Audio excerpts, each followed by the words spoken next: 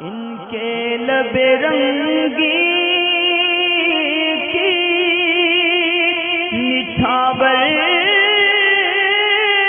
थी कि जिसने सवाल हम मालूम ये करना चाहते हैं कि इल्म दिन सीखने के लिए मदरसे जाना चाहते हैं, मगर घर में इनकी ज़िम्मेदारी है कमाने वगैरह की।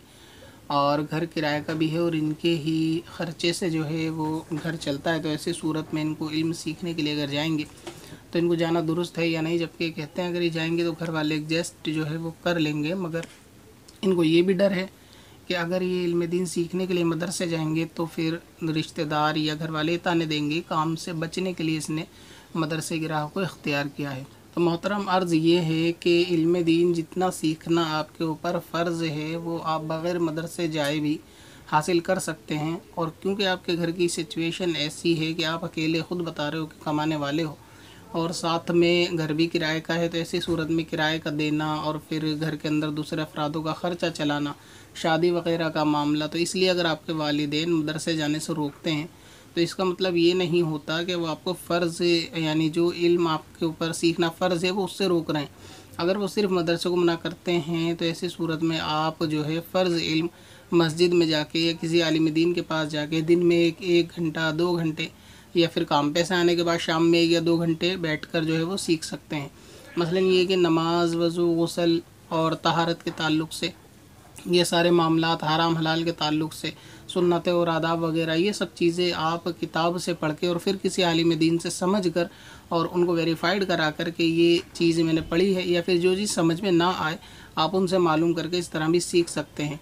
और ये कि मदरसे जाना अच्छी अच्छी बात है, मगर इसके अंदर अहम चीज़ यही है कि अगर आदमी ऐसी ज़िम्मेदारियों से फारिग हो या फिर उसके पीछे ज़िम्मेदारी संभालने वाला शख्स हो तो उसके लिए कोई हर्ज नहीं है। जाना भी चाहिए कि वो इल्म का मरकज़ होता है और वहाँ पे जो बच्चा तालीम हासिल करता है, उसके मुकाबले में नहीं हो सकता कि जो घर पे तालीम हासिल करता है। मगर ये कि आपको जितना सीखना फ़र्ज़ है, उतना आप बग़ैर मदरसे जाए, उस्ताद की मदद से, मस्जिद के इमाम साहब की मदद से भी सीख सकते हैं। तो आपको ये देखना चाहिए कि आपके ऊपर इल्म दीन सीखना फ़र्ज़ है ना कि मदरसे जाना फ़र्ज़ है।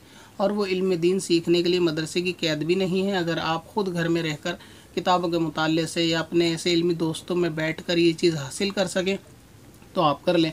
उलमा की सोहबत में रह के अगर आप हासिल कर सकें तो आप इसको इस तरह कर लें। काम पे से आने के बाद मस्जिद में जाकर, इमाम साहब से आधा या एक घंटा अगर आप जाकर सीख सकें तो इस तरह भी आप कर सकते हैं। मगर आपके लिए कि जबकि इतनी सारी दुशारियाँ और ज़िम्मेदारियाँ हों, वालदेन का मना करना बिल्कुल दुरुस्त है। मगर ये कि सिर्फ़ मदरसे के, यानी क्योंकि आप जाएँगे तो पाँच छः साल की पढ़ाई उसके अंदर लगेगी, मदरसे ही के लिए उनकी ममानियत तो होगी, इल्म दिन सीखने के लिए नहीं होगी तो मदरसे से अलावा आप किसी और ज़रिए से इल्म दिन सीखने का मामला कर सकते हैं। अब तो ऑनलाइन भी पढ़ाई का सिस्टम दावत इस्लामी का चल गया है। अगर आप ऑनलाइन पढ़ने पर कादिर हैं इस तरीके के, यानी घर में अरेंजमेंट है कंप्यूटर वगैरह का तो ऑनलाइन पढ़ सकते हैं। नहीं तो फिर वो सूरत मैंने आपको बताई कि आप घर में किताबों का मुताला करें छोटे छोटे रिसालों का मुताला करें, जो चीज़ समझ में ना आए उसको एक डायरी वगैरह पर नोट कर लें और तीन दिन में, चार दिन में एक बार इमाम साहब के पास जाके उन सब चीज़ों को समझ लें जो आपने पढ़ाए।